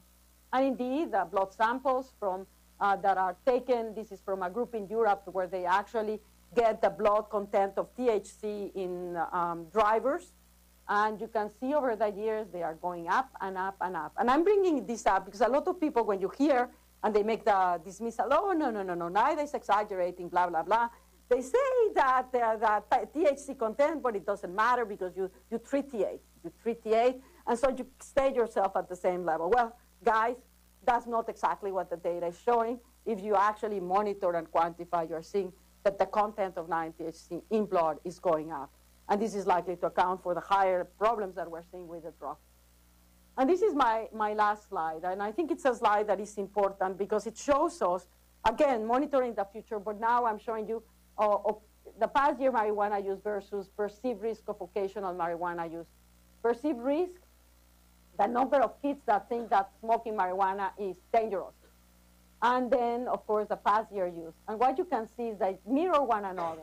The greater the number of kids that think that marijuana is harmful, the less the number of kids that are smoking, indicating that actually messages, prevention, accurate information to adolescents is extraordinarily important in motivating their, our, their behavior. Adolescents are sensitive to the notion of adverse effects of drugs, even though there is a subgroup that likes the risk as part of the excitement there is also a group of adolescents that is sensitive to norms. And so one of the things that we need to provide adolescents, as well as one, a policymaker, is a very good information about what is it that um, marijuana is doing into the brain. So one of the priorities of our institute uh, uh, at NIDA and in also in partnership with the Alcohol Institute and many other institutes is to actually do a longitudinal study that is power sufficiently, that use the most sophisticated technologies to evaluate in a large cohort what are the effects of those exposures in the individual brain trajectories so that we can answer that question. Is exposure to marijuana affecting my, the brain, my, where, my, my, the way my brain is being connected, the way my brain is, is functioning? Is it influencing my risk for mental illnesses? Is it interfere with my cognitive capacity?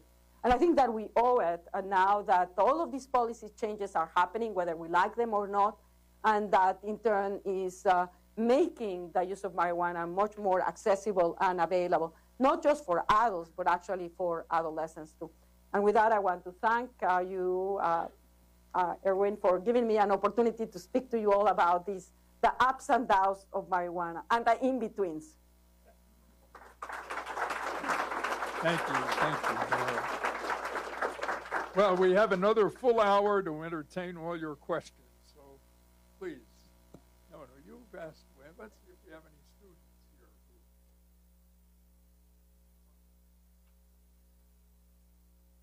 here. Um, you showed in the Monitoring the Future study that high school alcohol and cigarette use has consistently decreased over the last 15 years, while the use of marijuana has remained relatively stable. You said it was increasing. I think it's stable.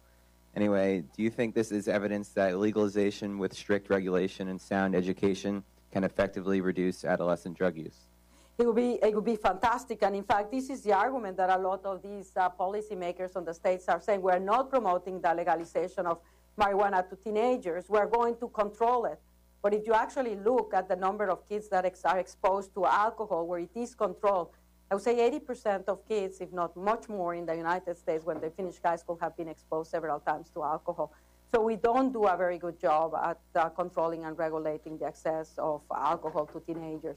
So while theoretically it sounds very nice, it's actually there's no evidence that we have been able to do interventions that protects adolescents from exposure to these legal drugs.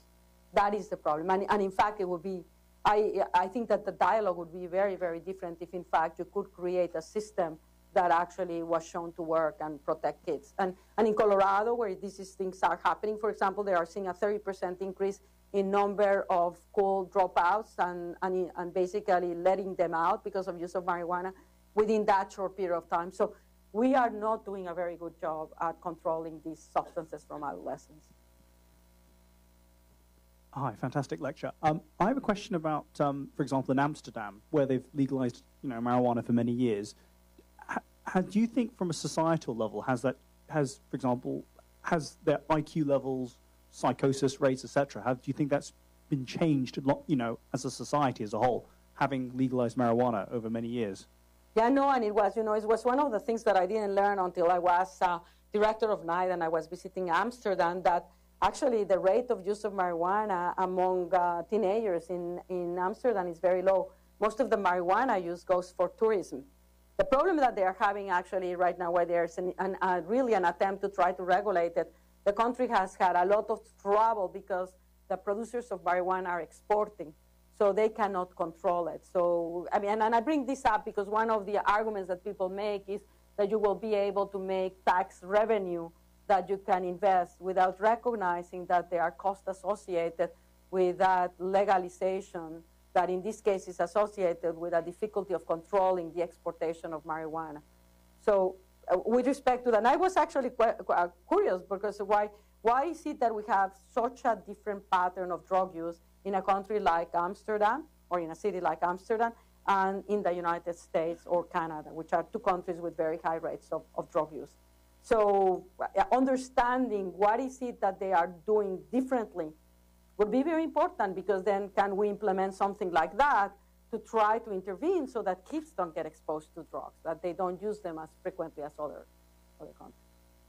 Yes. Um, my name is Paula Gordon. I have a um, um, website on um, called GordonDrugAbusePrevention.com. Um, I know we talked about this earlier, but I want to mention the exchange that you had with the Dalai Lama uh, in uh, 2013 in the fall was extraordinary. Uh, and you're showing him in this two hour, 20 minute presentation um, uh, brain scans of those who were addicted. I wonder if you could uh, tell us uh, what your, um, what your um, possible um, action might be with respect to making sure that that message that you conveyed to the Dalai Lama and the exchange that you had could reach as many as possible, not only for the, the, the um, help of the people who are addicts, but for the help of those who are trying to treat and help them, because I think it's a very hopeful message. So the Dalai Lama. Yeah, no, and I think that I was fascinated by the concept of the Dalai Lama. So when they asked me to go and says, Nora, don't say no, just go, go, go. And I was very happy I did. It was great to meet the Dalai Lama. But, but the issue that intrigued me very much was the concept that here you have a man that through meditation and a lifestyle has optimized his ability to control his body in ways that are extraordinary, that very few people can. And this is exactly the opposite to what happens when someone is addicted, where they lose the control over their own behaviors. So I was very intrigued about how could we learn from those practices that they use um, in the Buddhism, he doesn't like to call it a religion, he calls it a science. On, on, the, on, on the whole discipline of Buddhism, that could, we could help implement to, to help people that are addicted to drugs because it's a very devastating disease and, and we need better therapeutic interventions. And so that's, that's what I went there. But, and it was a very, very fantastic exchange. And I just thought that because it's in the web and YouTube and anybody can, can look at it. but I, I heard you that sort of says maybe it's too long and we, make, we may need to make it short. So I'll ask my, my staff and see if there's a way of, of making it shorter so that people don't have to spend so much time watching. Hi.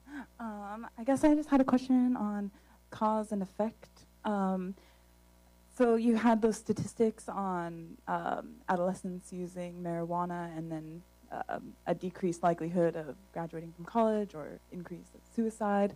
Um, but I was just wondering if um, there are any studies, like statistical studies, on um, whether uh, people that maybe like a type of people like that had a propensity maybe not to go to college, like started using marijuana, and then that's why these statistics uh, increased or decreased. Absolutely. No, I think that that's, that's one of the problems where I sort of say there's hole on, holes on the science. Because even that Dunedin study that shows it in terms of decreases in IQ, one of the complaints that has been done, the criticism on that study was that the groups may have come from different economical backgrounds, and the family influence uh, may in turn have determined whether you really strive and improve your, your IQ or not. So this is why I, I, in, in my brain I say these, all of these studies are actually highlighting that there may be a signal there, but they're not black and white. And, and that we need to do a study that can help us address those questions in an objective way, not exaggerating, because it sort of actually is the first thing that people say, well, why don't you come up and say this is terrible, blah, blah, blah. This is, we need to put the context, understand what the signal is and where are the errors. And that's why we're really pushing towards doing this study on 10,000, very well controlled, so that we can un unequivocally try to answer these questions. And then based on those findings, then you can do studies to look at causality, but where, where the rigor will basically cannot be questioned. I wonder, Nora, you meet with a lot of uh, youngsters. What, what are the kinds of questions that they ask you about drugs these days? Well, there was, uh, we, we have every, every year, actually, we come scientists from all over the place and actually um, from, from different institutes, and David was one of them, and we all sit there and we are trying to answer questions from adolescents from high schools all over the place. And it's actually interesting because over the years it has changed some. So these, uh, these past two years, three years, there's been a lot of questions on marijuana, clearly driven by this phenomena. But we also see a lot of questions, for example, which we have not seen in the past about electronic cigarettes, which is a new device that's permeating actually in, in the young people, the adolescents, and for which we know very much. But they want to know if uh, these drugs are harmful. They want to know what to do if they have a relative that is taking drugs. They want to know how to intervene if one of their friends is taking drugs, what they should do. Does anyone know why plants uh, secrete a substance like a cannabinoid? What, does it have any value to the species? Well, I think you, you actually, uh, your uh, son-in-law gave me this fantastic book on plants that actually goes into some of those phenomena. And we do know for nicotine, for cocaine, they have, uh, they protect against insects. For cannabinoids, I don't know exactly, but we have the cannabinoid expert here. I mean, does it make the insects a little bit woozy so they go somewhere else? well, for, for, for cocaine, it can be extremely toxic. For nicotine, it's also very toxic. But I, I, it's an interesting for cannabinoids. I do not know. It would be interesting to know. Well, with that would mean that then some insects must have these receptors. I mean, uh, obviously. Um, you spoke earlier about myocardial infarctions and strokes having some associations with cannabis use, and you also showed the figure about increased emergency department visits associated with increased cannabis use. And uh, I'm sure you know that the THC metabol- metabolites stay in the blood for a long time because they are lipophilic. Yeah. So, how are those um, marijuana-related events defined? And do you think that it's really the cannabis that is leading to these events, or is it just an underlying signal because those people may have used in the past couple of weeks? You know, and, and that is one of the things that makes the studies of associations very difficult with marijuana. Now, what in the, and this is one of the questions that say, how proximal was the event of the consumption of marijuana? So you are, you are positive. And there was just a, a recent meta-analysis, I think it's on JAMA or Lancet or one of them, that looks uh, specifically at the cardiovascular ones and the, and the proximity of the events. And they conclude on the basis of this meta-analysis that the evidence is quite strong to suggest that this was associated. Cardiovascular. In the, in the strokes, there, they, has they have not been uh, rig as rigorous meta-analysis done for the stroke. So the studies are more in clinical reports of a much higher risk of uh, having individuals that are young with stroke that have smoked marijuana but you, where you could actually say, well, you know, and I, and I suspect what's going to be happening too is that association if you have a risk um, for vascular pathology and then you take a cannabinoid, that may put you over that, so, so that you observe it just in those that are higher risk. But there is for that, I mean, right, certainly well, for the vascular.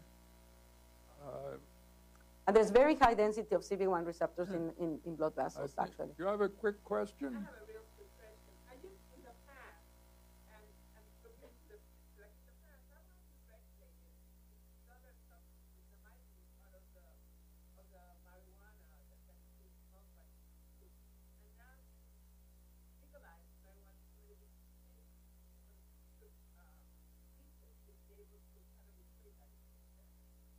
Well, I, I mean, yeah, no, and the question is very important because it's obviously, it relates to the fact that if we're speaking about medical marijuana and therapeutics, we need to provide the evidence that it works. So where does it, the evidence of marijuana having um, therapeutic potential? Where is the evidence? That doesn't mean that uh, it ha doesn't have other therapeutic potencies, it just hasn't been shown. Analgesia as an anti-nausea to improve appetite in patients, for example, with HIV and, and there is some evidence, I mean, there's also glaucoma, and then there's some evidence that it may have some anti-inflammatory effects, but the evidence is not, is at a lower level. But if you are proposing the use of marijuana per se, I mean, my, my, my argument is that we have technology and science in order to identify what are the active ingredients on a plant that are likely to have the most optimal effects and minimal risk effects. And you also need to actually know, so if you are going to use the plant, you don't really know which are the constituents and what are the concentrations. So that is a problem that, it, that needs to be addressed. So if someone, for example, there's a lot of interest right now on the potential use of cannabinoids for kids that have these seizures that cannot be controlled with regular antiepileptics. And there are currently three large clinical trials ongoing, and NIDA is participating by providing the marijuana, but this is marijuana that has extremely high content of cannabidiol. And in fact, they are extracting the cannabidiol in order to give it in an oral form to these children. And, but that's the way, I mean, you need to do it with very specific control and regulation of the delivery and the content that you're giving. And that's, I would, I would hope that that research will start to answer those questions. And uh, there is currently work ongoing to investigate, as I mentioned, post-traumatic stress disorder. There is some work in terms of Alzheimer's. It's interesting because there has been this whole sense that it may have anti-inflammatory effects. So it was interesting to actually hear uh, the presentation of, of George because he actually is showing that in fact it's activating microglia and producing pro-inflammation in these organs. I wouldn't have expected it. I would have expected exactly the opposite. But that's why we do science, because we can have beliefs and prejudices. And so we need to actually find out, and, and, and if it works, great. And if it doesn't work, then you don't want to be prescribing it to someone instead of prescribing them something that could help them. Short question. So you mentioned that hydrocannabinol goes into different parts of the brain. You also mentioned there is a axon fiber retraction. We know that the when the neurons die, the axon fibers are retracted. So is it the effect of the toxicity on the cells in the hippocampus and other areas of the brain which results in death and retraction of the axonal fiber? from what we know, we know, don't know specifically, but what we know from the cannabinoid system in development is it's very important in forming axonal arborizations. So if you interrupt that pathway, the connections between neurons do not form properly. So my, inter I mean, again, it's just purely, purely speculative because the data is from taking it from rats to bringing it into humans.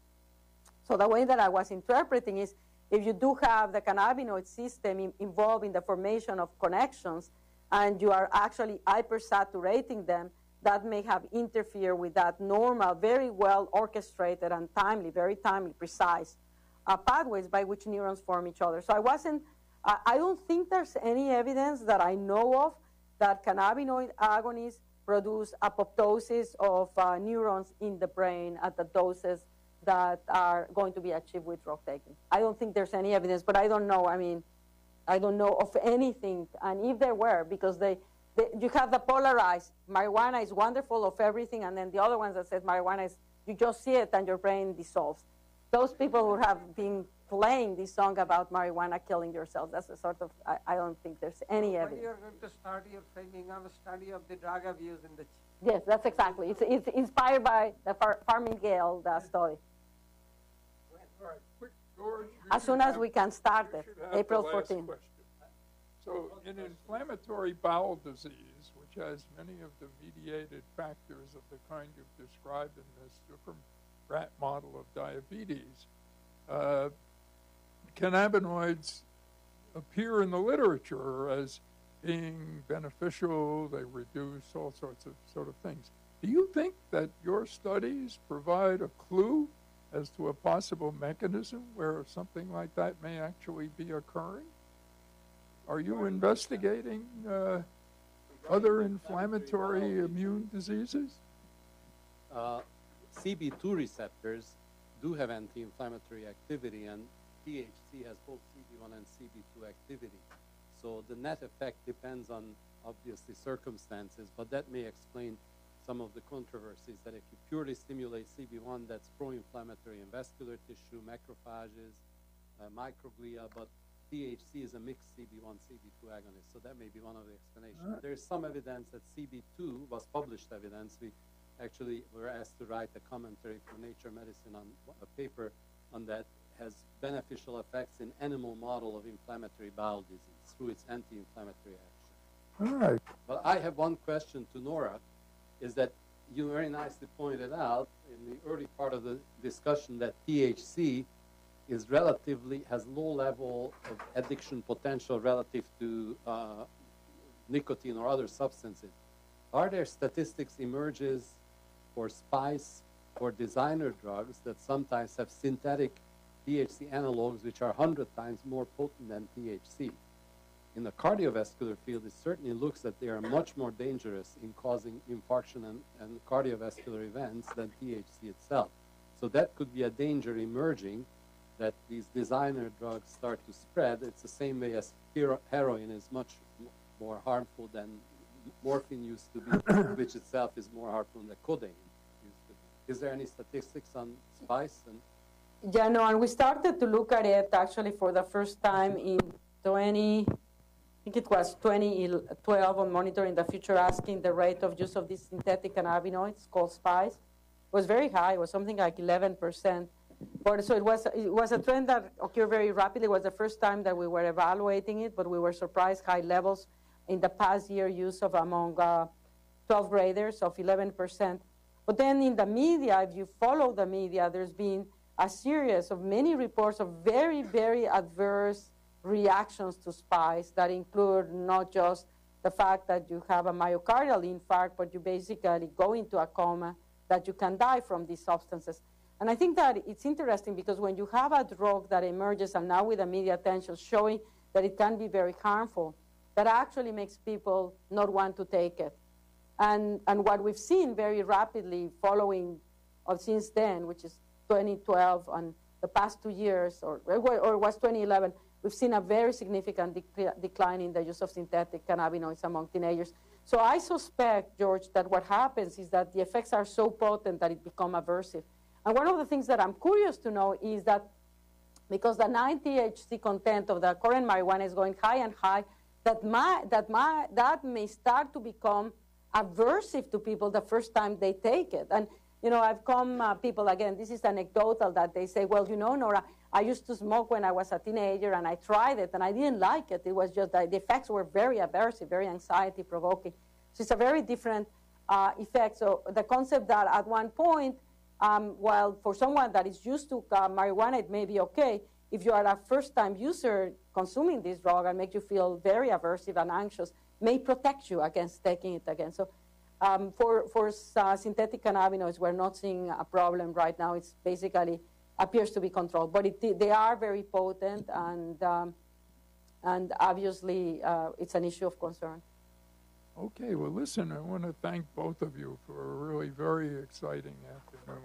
Thank you all for coming.